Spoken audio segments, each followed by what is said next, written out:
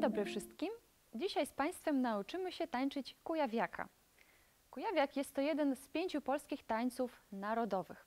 Nazwa kujawiak, jak można łatwo się domyślić, pochodzi z regionu, w którym taniec powstał w formie ludowej, czyli z Kujaw. Kujawiak to jest taniec miłosny, taniec trójmiarowy w rytmie mazurkowym. Dzisiaj z Państwem nauczymy się kroków podstawowych chodzonych do przodu, do tyłu, kroków podstawowych w obrocie oraz niektórych elementów popisowych.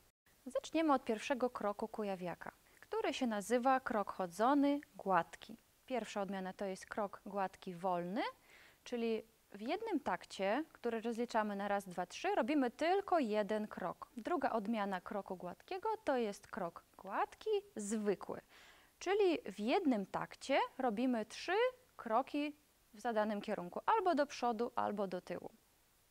Krok chodzony gładki możemy tańczyć do przodu, do tyłu, również możemy tańczyć w ćwierćwrocie i w obrocie.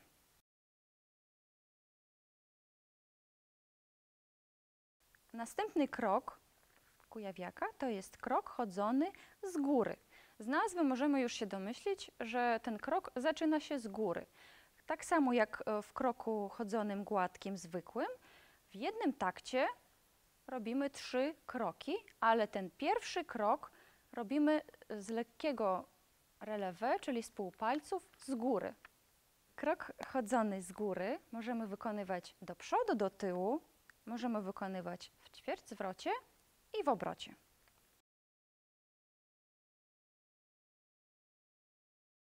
Następnym krokiem to jest krok chodzony uginany. Różni się od kroku chodzonego z góry tym, że nie tylko pierwszy krok jest z góry, ale również dwa następne, czyli każdy krok jest z góry, wszystkie trzy kroki. A następnym krokiem to jest krok chodzony z oddechem.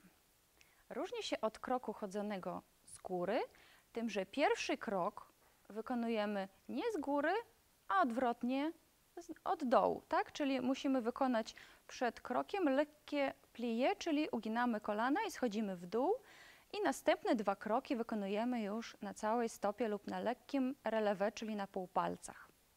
Krok chodzony z oddechem wykonujemy do przodu, do tyłu i w ćwierćwrocie.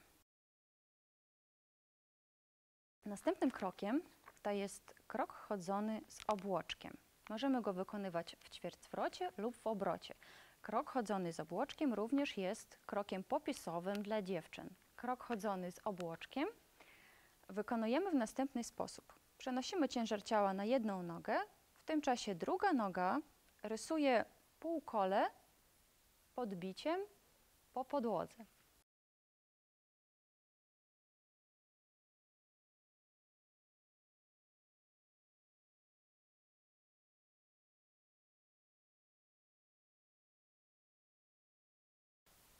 To teraz przechodzimy do elementów ozdobnych albo popisowych, wykonywanych wyłącznie przez tancerzy. Jednym z takich elementów są chołupce. Pierwsza odmiana, gdy wykonujemy chołupce na 2 i 3, czyli na raz robimy krok, na 2 i 3 są dwa chołupce pod rząd. Drugą odmianą jest y, wykonywanie tylko jednego chołupca na trzy, czyli na raz robimy krok, na dwa pauzę i na trzy jest chołupiec.